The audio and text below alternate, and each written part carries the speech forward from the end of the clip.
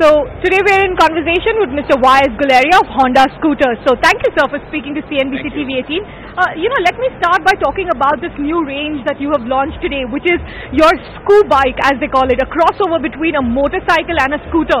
And you've launched this at a very, very competitive price of 39,500.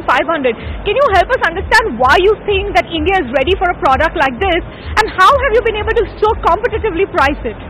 Yeah, first of all, you know, as all of us are aware that India is having the youngest population in the world, Right. and these youngsters are trendsetters and they want to do their, you know, things in life in their own way, hmm. and it is also related to their lifestyle and the vehicles they want to own and possess.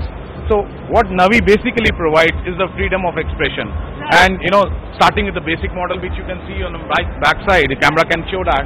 So this is the basic standard model, but how it can be transformed, you know, for realizing their dreams, you can see on the left hand side, it's all chrome Navi.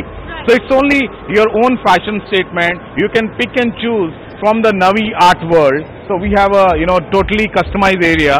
So uh, youngsters, based on uh, their lifestyle, the fashion statement they want to make, they can customize this vehicle the way they want, and the possibilities are unlimited.